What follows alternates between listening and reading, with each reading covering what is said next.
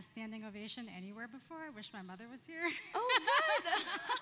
no, but thank y'all so much. Um, Atlanta has been so fun already. I haven't spent a ton of time here, but um, I've been excited to kind of tour around today and meet other people that are participating and all of y'all. So thank you for having me. Of course, thanks for being here.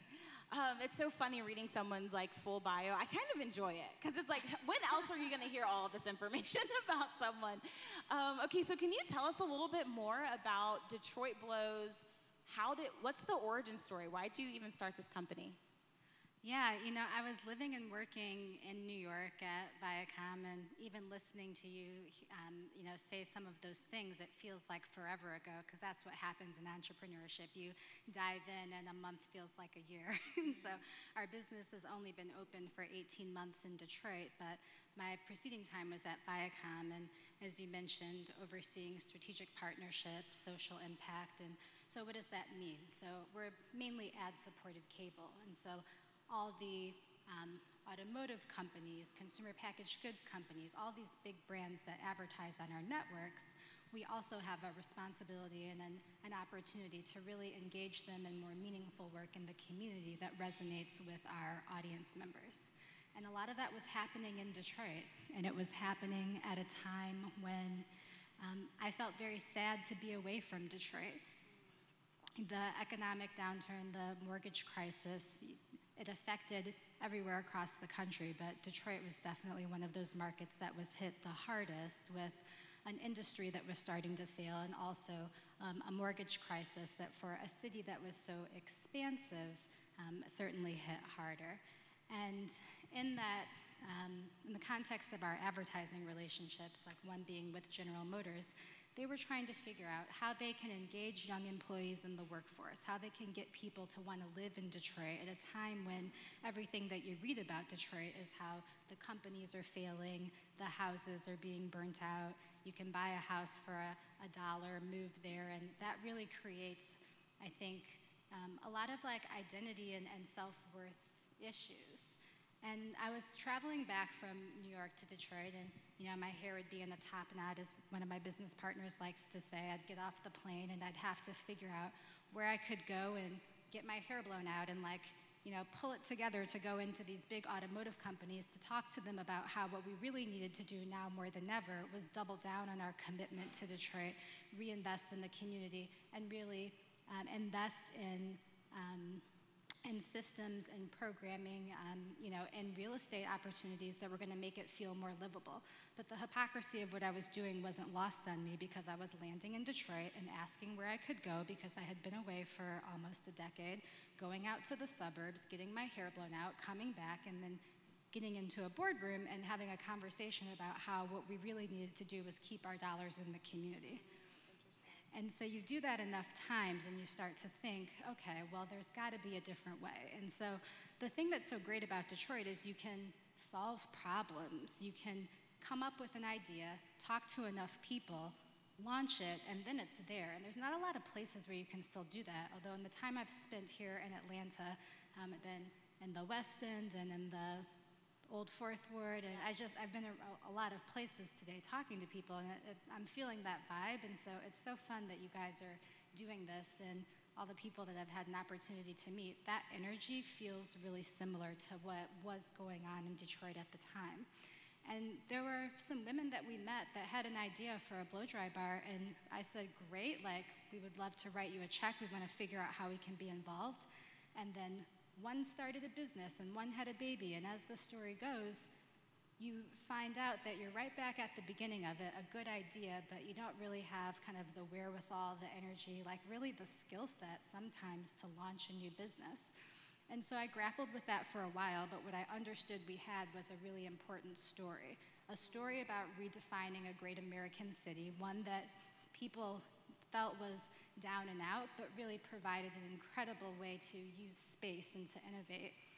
And when I started to also delve into it, I wanted to make sure that I could solve for an experience that I didn't have other places, which for me, I've spent you know, my entire life going into salons and people looking at me and saying, well, let, we've just got to see if we have someone here that can do your hair or we can do your hair, but it's going to take us a little longer, so we just want to make sure that you're comfortable and can afford the price differential for the service that we would have to offer. And all of these tiny microaggressions really also, if you let it, and even if you try not to, but on some level it does grate, again, at that underlying um, kind of sense of, of self. And so when we thought about doing this, the thing that really drove me towards it is this not just this desire to build this business, but feeling like nobody was going to do it the way that I was going to do it with my partners. Mm-hmm. Um, one of my partners, um, you know, Italian, Canadian, um, another one biracial. And really, as we were looking around at each other and like really going back and thinking about the different experiences that we had had in salons, oftentimes in salons together, you know, these tiny little microaggressions, these thinly coated ways in which systems and industries like beauty continue to perpetuate racism, and it felt like activism. So there was an urgency around what we wanted to do and how we wanted to do it, mm-hmm. and that was really kind of the genesis for how we ended up back in Detroit. Wow, that's awesome. Oh gosh, so many cool things. Okay, you just you were going this direction. Can you tell us a little bit more about beauty as activism and what does that mean for you and how is that showing up in your business model? Yeah, it's interesting because in the entertainment space, I, I came to it as an, an, activist, really thinking about the impact that we can have. And it goes back to identity and representation politics and what you see on screen and who gets to program those spaces and how we feel when we watch them. And defining what beauty is, you know, is an, an, entire industry. It's everything from the products that are available to how we market them to the personal invitations via marketing advertising that we send to the consumer. And when you grow up and you see that none of this feels like it's for you, or then it, when you can start to, you know, find products and services that do feel like they're tailored towards you, it's one part of you. Mm-hmm. Um, it, it starts to, to feel like there has to be some nuance and there has to be um, an opportunity for true inclusive beauty. And for us, we really pride ourselves on non toxic beauty, but making sure that it's intersectional, making sure that it's inclusive. You know, salons have traditionally been these segregated spaces, and you know, frankly, like you have the black people that want to go to the black salon, and you have like white girls that want to go to their salon, and Persian girls to their salon, and so on and so forth. And frankly, it's because we want to be in a scenario where we feel comfortable. But where is the opportunity in terms of space, in terms of the talent that works with you, and the conditions in which you're trying to make space for? To create a scenario where we're not self identifying and self segregating into these different models because we're doing kind of what's best for us, but where's the opportunity to really know that we can go into one salon footprint and that the expectation of the service is that someone there is going to be able to do my hair regardless of where my grandmother is from or where my dad is from or whatever the case may be. And we also knew that in doing that, it means from a training and talent development standpoint that just because you have stylists that have only been exposed to one texture of hair doesn't mean that they're not a good fit for us. It allows us the opportunity to really train towards a variety of textures so that we surprise people when they come in the door. You know, sometimes if I'm at the desk, they're like, oh, like, this is your spot? Oh, but can you guys do my hair? I'm like, I can do your hair. I, I can't do your hair. I can't do any hair. That's also how we got here. But somebody here can do your hair. And so that feels like our very existence in the central business district in this area that is, you know, really having a moment and all this development around us to be able to be on Library Street, to have a salon called Detroit Blows, it feels like a bit of activism every day when people come in the door and they see, okay, even in the changing landscape of what is Detroit and who gets to participate and is this gentrification and how do we see ourselves reflected in the success um, that Detroit is having now from an entrepreneurial standpoint, it is important that people walk in the door and that they see one of us and that they know that this is a safe haven and that we built this with you in mind, with this interaction in mind. Awesome. Okay, so I want to run with that, but also switch gears just a little bit to hear more about your um, just like your entrepreneurial journey also. And so I'm wondering, as you are pioneering this new thing in the beauty industry and the salon industry, what was your journey to investment like? If you can speak to that a little bit, because I find that sometimes it's tricky when you're trying to do something that's actually new to communicate the value of that new thing to other people at times. Yeah, and my entire career before this had been in a corporate environment, and I was so used to the structure of it, and I understood that I was a first-time founder, and like who would give me money. Um, my one of my business partners, also my best friend, uh, she was the first one, Sophia, to write a check. I said, okay, let me sit down and build the strategy, but also build the story of what it is we want to build. And if it feels compelling enough that independent of me, you think it's a good idea, mm. if you write the first check, maybe some other people will follow. And I did that. We built it out. I gave it to her. And I said, I don't know if it will work, but maybe we should try. And she said, We have to like she wrote a check and called some people that she knew and we did a small friends and family round and that was really what seeded our investment mm-hmm. um, but i think one of the challenges for us also was the reality of opening a business in a market like Detroit, Michigan, where winter is supposed to be three months and now it's five months because if anyone tells you global warming doesn't affect small businesses, like it does, like these are issues that are, you know, systemic and at every sort of layer of business and society that it affects you. And so we rushed a little bit. We opened in October, probably like would have opened three months later, but we knew that we needed to open in October because we needed to get there before the snow came. And so we did, and we pushed, and we opened even, frankly, before we had finished raising all the money that we needed, uh, which is, you know, a conversation for another day, maybe a conversation for today. but I think what we learned is that you want to make sure that you have someone that believes in you that starts it off you go to your friends and family, like that's great, but there's all different sorts of lessons that you'll learn in terms of how to raise money. If it makes sense to do convertible debt, do you have a business that's able to um, meet those debt and interest requirements like as you're ramping up like that was an interesting conversation for us as we opened three months earlier than i would have liked to and sure. the last bit of money that we didn't finish raising was our working capital so what does that mean when you don't fully raise the money that you need, it means that you're making up the difference. And those are realities of a funding and financing um, standpoint that really make you think about, and God bless you, think about um, how you raise the money and what kind of money you raise and how expensive different people's money is. And so, you know, it was really scrappy. And for us, it was mainly testing an idea, testing a theory. Yeah. And then it grew very quickly. And what we found is that there were a lot of people that were rooting for Detroit, and we became something that they could root for. Hmm. I think there were a lot of people that were rooting for um, not just non toxic beauty, because we're starting to have that, but like truly non toxic, inclusive beauty. What does beauty look like from a community revitalization standpoint? You know, part of our business is that we um, have a reinvestment arm. And what does it look like for business to have a true role in the community where the economics of how you're making money are helping to fund the work that you're able to do and how you give back. And I think because of all of those things, um, people were willing to take a risk on first time founders that we're very grateful for.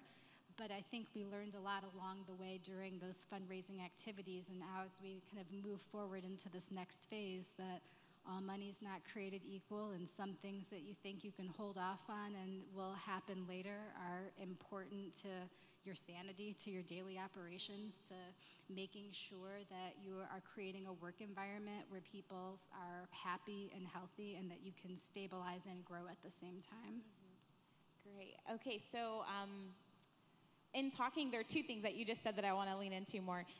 I find that one of the biggest challenges new startups face is recruiting and retaining good talent. And so, can you tell me about what that looks like for your company, finding the right people, and then once you find them, how do you keep them on board?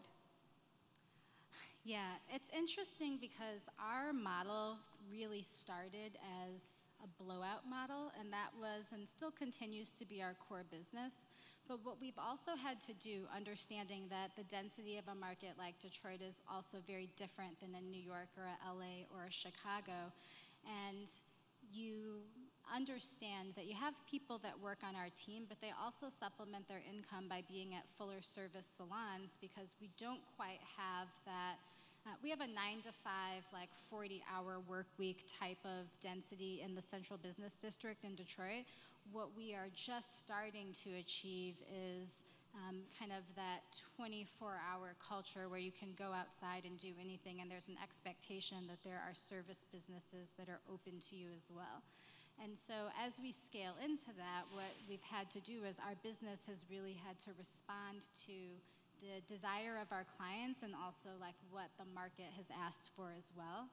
And we've had to increase some of our services. So while we primarily are blowouts, we also have non-toxic uh, makeup, waxing. We're in the process of um, taking a look at some color lines. Um, and but what this has essentially done is it's created a scenario where people that may be at our salon and a full service salon can start to see where there's an opportunity for them to generate more wealth and not necessarily have the desire to move to other salon environments or work there less days a week and with us more days a week. And so for us, we've really had to balance what clients have asked for and what our team members say um, you know, they need in terms of a, a, working environment and really tried to figure out how to meet in the middle. Um, we have less turnover than the salons generally have, or these blow dry salons generally have, and it's probably a little closer, although not yet approaching kind of a booth rental commission model where those are really entrepreneurs inside of an entrepreneurial footprint. So I think that we're a little closer to the middle, but part of it has really been a safe place for people to land and a feeling that what we do is different than what they experience in, in other scenarios. And it's training and talent development and really being inclusive and trying to offer opportunities for continuing education in the non-toxic beauty space, which is a, definitely like a growth sector in terms of beauty in general. And I think that they also get excited about the people outside of Detroit that are rooting for them. And last December, we got a call from a, a, good friend, Peter Tunney, who is a pop artist. I actually had breakfast with him the morning that Detroit filed for bankruptcy. This was years ago, maybe eight years now. And he slid the, the Times across the table and he's like, Have you seen this? And I said, no. And I was just devastated, like as you certainly would be. But last December, I got a call from Peter. He was making new work down in Miami for Basel. And he's like, I've been working on something for you. It'll be there before Christmas. And then this huge, like six foot by six foot canvas that says Detroit Blows that he's spent the past like eight years creating and gathering different like um, different cutouts and clippings and old magazines and you know it's like the Good Morning Detroit crew and Aaliyah and just everyone that you can imagine that's sort of an amalgamation of Detroit. This beautiful piece of art that he sent to the salon and he said, "I just want you guys to know that people out there that you that the girls don't even know are rooting for them." And that's the kind of thing that makes people want to get up and come to work um, and it feels much bigger than you know than just a salon. So we always say beyond the blowout, but for us, it's always been about what happens um, outside of the salon and how the, the story is able to travel and our team members can be connected to it and they feel that when they come in the door every day. Wow. It sounds like in, in many ways, you are a part of an incredible community of people. Like, even that he would take the time to create that for you and for the, the women who work with you and for you. Um, if there are people in this room who are struggling to find that sort of community or struggling to find people who believe in them, do you? I didn't prep you with this question, but what um, words of encouragement would you offer? Because I know that entrepreneurship can also be a really lonely journey. It can, and I benefited greatly from people who helped me. And I don't mean like writing checks, although there were some that did, but people that picked up the phone when I had questions and um, who I was sometimes afraid to, to ask for help. But if entrepreneurship teaches you anything, like it's truly humility. And you know, we function as a social enterprise. A, a dollar from every blowout, a portion of our retail footprint flows into our nonprofit. And I remember that early on in my career, I had um, an executive at the company that said, Well, do you want to help people or do you want to make money? Like, do you want to make money or do you want to give money away? Like this, are you a nonprofit? Are you for profit? Are you for purpose? Are you for people? And I didn't, I understood that you could be all of those things, and I wanted to build a business that was all of those things. But the most important thing that it gave me is even at a, a very like entry level role, I was always philanthropic and thinking about how I could give something away or how I could help other people. Like my, one of my first bosses, Russell Simmons, said, if you want to make money, help other people make money. So what I think is if you're looking for a community, think about if you had resources, who would you help? Think about skills based volunteerism. What is the company that you're building or that you want to do? What, what is it that you could offer to other members of the community when you felt like you had enough time, that you had enough resources, or whatever the case may be? And I think that oftentimes you'll find your community around the network of individuals that also need your resources and support and help also. I met Sophia not as an actress, even though I worked in entertainment and she was in front of the camera. I met her at a social impact conference because I was so surprised that she's taking these like crazy copious notes. And I'm like, isn't that the girl from, she was on like One Tree Hill at the time. I was like, but she looks like she is in it. and I sat next to her and I was just so surprised. And until this day, she's always the person in the room that is taking notes, trying to figure out like how she can help somebody else. Mm-hmm. And, and both of our desires to learn more about how to impact systems and to have true kind of change, but from where we are, we met and had been best friends for a decade and then launched this business together. Yeah. And so I really think that if you can figure out how to help people and not be afraid to do that, those types of experiences I think often lead you to people that can end up being your network and your support as well. Wow, that's so good. I love that. And um, so, in thinking about generosity, which is what I feel like you just described, um, can you tell us more about Detroit Grows? You've alluded to it, but can you like lay that out for the people? What is it? Why is it? Tell us more. Yeah, I love a pun also. So we're always like, well, when Detroit blows, Detroit grows, and that was a lot of how we spoke of it from a, you know the the early days, mm. and you know we have lots of friends, um, our friends have like Warby Parker and Tom's, and these really interesting give back models. And we wanted to figure out also that as we scale a business, how can we reinvest in a way that the business can support? And so for us, we knew that. Um, you know, it would be a dollar from every blowout. It'd be a, a, portion of our retail profits. And then what would we do with that money? Well, when I was at Viacom, one of my big clients was also the Bill and Melinda Gates Foundation. We got to work on a lot of their education work here um, locally, um, global public health internationally, but they're true proponents and believers in the multiplier effect. And it's this philanthropic reinvestment strategy that by investing in women and girls and communities, the money actually goes further because you're investing in their families, you're investing in their, the ideas that they breathe into the world. And we, we loved that and we were touched by that. And so we said, okay, Detroit Grows is going to reinvest in women and girls in the community, but what does that look like? And so we've segmented it into two types of giving. So the the grant-based giving to other nonprofits are nonprofits that work on eliminating, uh, eliminating barriers to entry for women or girls that are trying to enter or re-enter the workforce. So. Okay that could be everything from homelessness to domestic abuse to sex, sex trafficking.